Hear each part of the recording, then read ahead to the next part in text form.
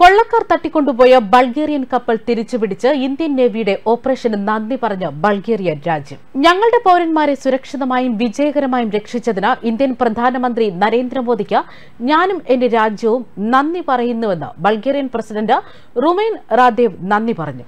Rhine എന്ന Bulgarian കപ്പലിനെയും ഏഴ് Bulgarian പൌരന്മാരുൾപ്പെടെയുള്ള ജീവനക്കാരെയും രക്ഷിച്ച നാവികസേനയുടെ ധീരമായ പ്രവർത്തനത്തിന് പ്രധാനമന്ത്രി നരേന്ദ്രമോദിക്ക് എന്റെ ആത്മാർത്ഥമായ നന്ദിയെന്നാണ് രാദേവ് എക്സിൽ ഒരു സോഷ്യൽ മീഡിയ പോസ്റ്റിൽ പറഞ്ഞത് തട്ടിക്കൊണ്ടുപോയ കപ്പലിൽ കടൽക്കൊള്ളക്കാർ ബന്ദികളാക്കിയ സംഘത്തിലെ ഏഴ് ബൾഗേറിയക്കാരെ വിജയകരമായി രക്ഷിച്ചത് ഇന്ത്യൻ നാവികസേനയുടെ പൈറസി വിരുദ്ധ ഓപ്പറേഷനിലൂടെയായിരുന്നു. രണ്ടായിരത്തി പതിനേഴിന് ശേഷം ആദ്യമായാണ് സൊമാലിയൻ കടൽക്കൊള്ളക്കാർ ഇത്തരത്തിലൊരു കപ്പൽ പിടിച്ച് കടത്തിക്കൊണ്ടുപോകുന്നത്. മുമ്പ് സൊമാലിയൻ കൊള്ളക്കാരുടെ കട്ടയും പടവും അടക്കി അവരെ തകർത്തതും ഇന്ത്യൻ നേവിയായിരുന്നു. ഇപ്പോൾ വീണ്ടും ചെങ്കടലിലെ അടക്കം അസ്വസ്ഥതകൾ മുതലാക്കി സൊമാലിയൻ കടൽക്കൊള്ളക്കാർ വീണ്ടും സജീവമാവുകയാണ്. ഇന്ത്യൻ യുദ്ധക്കപ്പൽ കൊൽക്കത്തയാണ് ഇത്തവണ ഓപ്പറേഷൻ നടത്തിയത്. ഏഴ് ബൾഗേറിയൻ പൌരന്മാരെ രക്ഷപ്പെടുത്തി കപ്പലും തിരികെ പിടിച്ചപ്പോൾ മുപ്പത്തഞ്ച് സൊമാലിയൻ കൊള്ളക്കാരെ പിടികൂടുകയും ചെയ്തു. കൊള്ളക്കാരെ വെടിവെച്ച് കൊലപ്പെടുത്തുമെന്ന ഘട്ടം വന്നപ്പോൾ ജീവൻ രക്ഷിക്കാൻ ഇവർ ഇന്ത്യൻ നേവിക്ക് മുന്നിൽ യാചിച്ചു. കൊല്ലരുത് എന്നും കീഴടങ്ങാൻ അനുവദിക്കണമെന്നും അപേക്ഷിച്ചു. ഇവരെ കസ്റ്റഡിയിലെടുത്ത് ഇന്ത്യൻ നേവി ബൾഗേറിയയ്ക്ക് കൈമാറുമെന്നാണ് അറിയുന്നത്. ഇതുമായി ബന്ധപ്പെട്ട് ബൾഗേറിയക്കാരനായ കപ്പലുടമ പറഞ്ഞത് ഇങ്ങനെയാണ്. മോചനത്തെ ഞങ്ങൾക്ക് മാത്രമല്ല മുഴുവൻ ആഗോള സമുദ്ര സമൂഹത്തിനും ഒരു വലിയ വിജയമായി പ്രശംസിച്ചു. ഏഴ് ബൾഗേറിയക്കാരെ കൂടാതെ ഒൻപത് മ്യാൻമർ പൌരന്മാരും ഒരു അങ്കോളൻ പൌരനും ഉണ്ടായിരുന്നു. ഇന്ത്യൻ തീരത്ത് നിന്ന് രണ്ടായിരത്തി അറുന്നൂറ് കിലോമീറ്റർ അകലെയാണ് കടൽ കൊള്ളക്കാരുടെ കപ്പൽ തിരിച്ചുപിടിച്ചത്. കടൽ കൊള്ളക്കാർക്ക് ഭയപ്പാടാണ് ഇപ്പോൾ ഇന്ത്യൻ നേവി. ഇതിനകം തന്നെ ഇന്ത്യൻ നേവി രക്ഷിച്ചത് ബ്രിട്ടന്റെ ഉൾപ്പെടെയുള്ള കപ്പലുകളാണ്.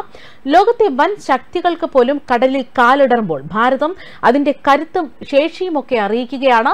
ചെങ്കടലിലും ആഫ്രിക്കൻ കടലിടുക്കിലും ഇന്ത്യൻ സൈന്യത്തിന്റെ കടൽ കൊള്ളക്കാർക്കെതിരെ പോരാട്ടം വൻ വിജയമാണ്. പന്ത്രണ്ടോളം പടക്കപ്പലുകളാണ് ഇന്ത്യൻ സൈന്യം ഇതിനായി ഇവിടങ്ങളിൽ വിന്യസിച്ചിരിക്കുന്നത്. ഇതിന്റെ സമ്പൂർണ ചിലവും ഇന്ത്യ വഹിക്കുന്നു.